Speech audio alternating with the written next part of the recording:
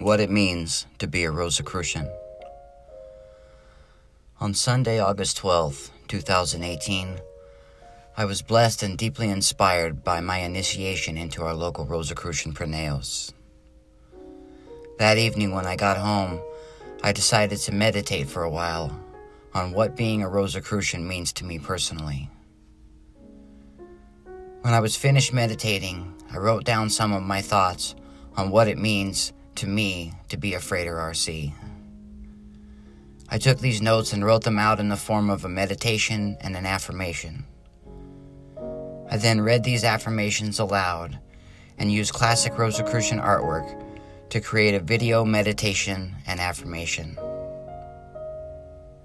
The purpose of the meditation is to listen to the affirmations each morning in order to help shape each day into a Rosicrucian learning experience and to remind myself of my Rosicrucian vows and responsibilities each and every morning to help guide each and every day into being a happy and meaningful experience.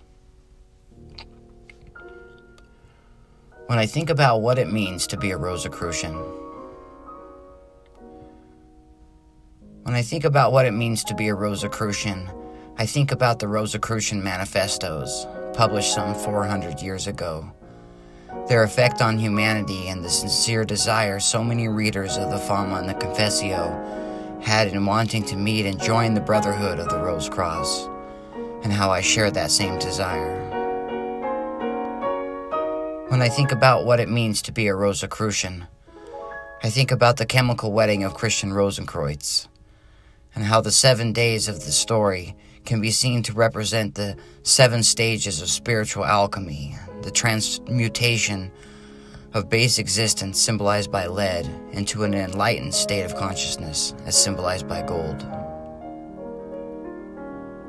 When I think about what it means to be a Rosicrucian, I think about the fraters and sorors that have come before me, who, in the face of persecution and even imprisonment, never wavered in their sincere desire to be a member of the Fraternity of the Rose Cross. When I think about what it means to be a Rosicrucian, I think about the ancient Egyptian mystery schools and the very first Rosicrucians, of Akhenaten passing down his knowledge and wisdom to those who had proven themselves to be worthy students. When I think about what it means to be a Rosicrucian, I think about Pythagoras, continuing the tradition of mystery schools how his students spent five years without speaking so that when they finally did speak again, they did so with an introspection and a self awareness only a student of the mysteries could possess. When I think about what it means to be a Rosicrucian, I think about the fraternal lineage of the Knights Templar, the Sufis, the Albigensians, the early Christians, Gnostics, the Kabbalists, and there being leaks in the same Gnostic chain in which Rosicrucians are an integral link.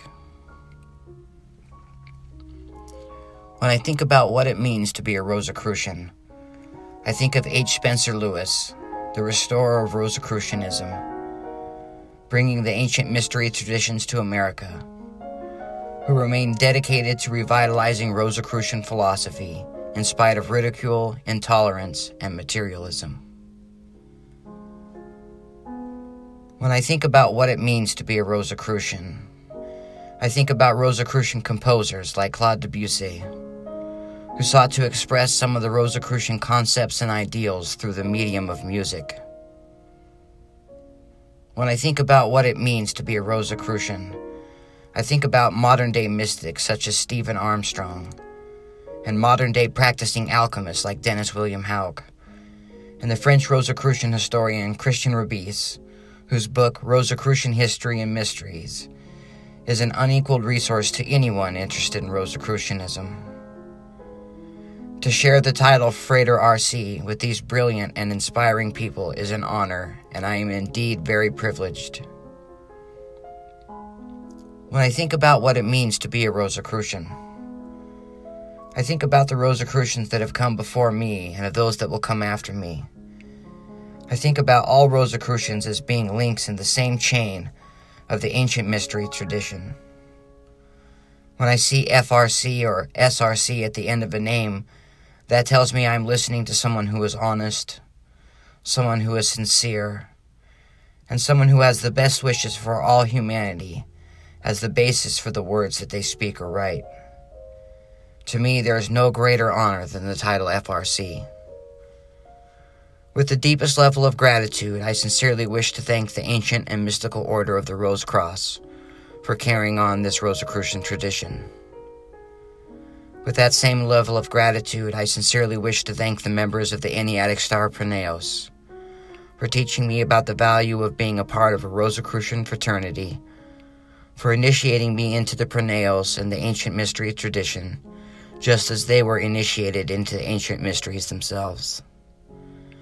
I couldn't think of a better group of partners with whom I could share my spiritual journey.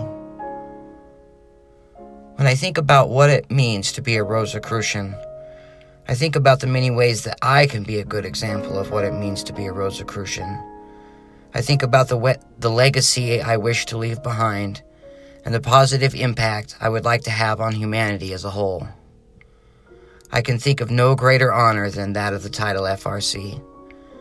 It is with great pride and honor that I accept this title, and also with great humbleness and humility.